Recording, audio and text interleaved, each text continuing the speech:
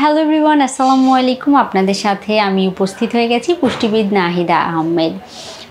মেয়েরা স্বভাবত একটু লজ্জাশীল হয়ে থাকে বা মেয়েরা নিজেদের বিভিন্ন জীবনের যে পর্যায়গুলো, সেই পর্যায়গুলোকে অত বেশি উপভোগ্যময় করে তুলতে পারে না আর বিভিন্ন প্রতিবন্ধকতা অনুভব করে থাকেন। এর অন্যতম কারণ হিসেবে দেখা যায় যে মেয়েরা সবসময় এই ইন্ট্রোভার্ট কোয়ালিটির হয়ে থাকে, তারা নিজেকে এক্সপ্রেস করতে চায় না।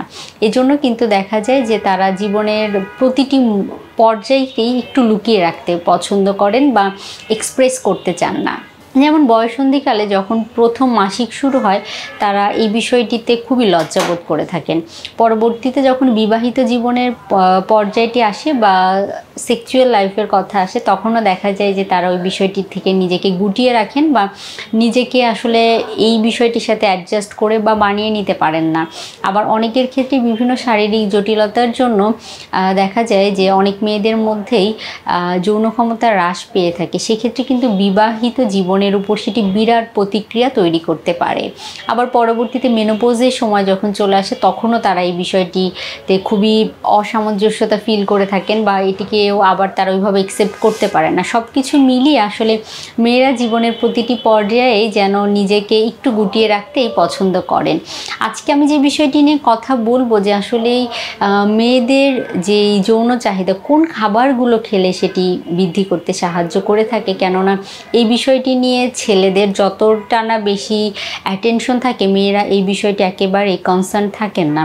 বা তারা এই বিষয়টিতে কথা বলতেই যেন স্বাচ্ছন্দ্য বোধ করেন না। তো সেই সকল মায়েদের জন্য বা বোনেদের জন্য আজকে আসলে ভিডিওটি যে কোন খাবার খেলেও তাদের আসলে যৌন জীবনটিকে তারা উপভোগ্যময় করে তুলতে পারবেন বা তাদের যৌন ক্ষমতা বৃদ্ধি করতে সেটি সাহায্য করবে। সবার প্রথমেই যদি বলতে হয়, নিয়মিত খাদ্য তালিকায় আপনি বিভিন্ন ধরনের খাবারের মধ্যে যেই খাবারগুলো অন্তর্ভুক্ত করবেন সেগুলো তো আমরা কম বেশি আমাদের চারপাশে পেয়েই থাকি। সেই খাবারগুলো সব সহজেই অ্যাভেলেবেল এমন খাবারগুলোই আমি মেনশন করার চেষ্টা করব যে, যেই খাবারগুলো খুব সহজে আপনি কিনতে পারবেন বা সেই খাবারগুলো আপনার রিকোয়ারমেন্ট ফুলফিল করতে সাহায্য করবে। তার মধ্যে অন্যতম হচ্ছে নিয়মিত একটি করে ডিম গ্রহণ করার চেষ্টা করবেন, এক গ্লাস করে দুধ আর মাছ মাংসের পরিমাণটি বাড়িয়ে দিতে হবে। কেননা মাছ, মাংস এমনকি যদি আপনার ওজন ঠিক থাকে, শারীরিক কোনো জটিলতা না থাকে, সপ্তাহে দুই থেকে তিন দিন গরুর মাংস গ্রহণ করতে পারেন। কেননা এগুলো যেমন আপনার শরীরে প্রোটিনের যোগান দিবে, ঠিক সেভাবে জিঙ্ক এবং সেলেনিয়াম এবং আয়রনের যোগান দিবে। যেটি দেখা যাবে যে আপনার কিন্তু হরমোনাল ব্যালেন্স ঠিক রাখতে সাহায্য করবে। জিঙ্ক এমন একটি পুষ্টি উপাদান যেটি কিন্তু ছেলে হোক কিংবা মেয়ে, প্রত্যেকেরই যৌন ক্ষমতা বৃদ্ধি করার ক্ষেত্রে গুরুত্বপূর্ণ ভূমিকা পালন করে থাকে। পাশাপাশি সকালে ঘুম থেকে উঠে মধুর সাথে মিশিয়ে দুই এক কোয়া কাঁচা রসুন আর সামান্য আদা কুচি, এটি যদি নিয়মিত গ্রহণ করতে পারেন, সেটিও চমৎকারভাবে দেখা যাবে যে আপনার যৌন ক্ষমতা বৃদ্ধি করতে সাহায্য বা কার্যকর ভূমিকা পালন করে থাকবে। নিয়মিত দুই থেকে তিনটি খেজুর ও সামান্য কিছু কিসমিস যদি গ্রহণ করতে পারেন, সেটিও আপনার জন্য বেনিফিটেড হয়ে উঠবে।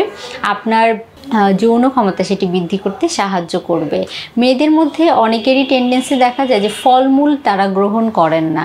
নিয়মিত ফলমূল গ্রহণ করার মাধ্যমেও কিন্তু সেটি দেখা যায় যে যেমন তরমুজ, তারপরে হচ্ছে টমেটো আনার এই জাতীয় যে খাবারগুলো আছে, এগুলো আয়রনের রিকোয়ারমেন্টও ফুলফিল করে লাইকোপেন যে পুষ্টি উপাদানটি আছে, সেটিও রিকোয়ারমেন্ট ফুলফিল করে। সেক্ষেত্রে কিন্তু দেখা যায় এটি আপনার যৌন ক্ষমতা বৃদ্ধি করতে সাহায্য করে থাকবে। পাশাপাশি নিয়মিত আপনি যদি দুধ বা দুধের তৈরি যেসব সামগ্রী আছে, সেগুলো গ্রহণ করেন, সেক্ষেত্রেও কিন্তু আপনি খুব ভালো একটি উপকারিতা পেতে পারেন। আর যদি আপনার বিভিন্ন ধরনের শারীরিক কমপ্লিকেসি থাকে।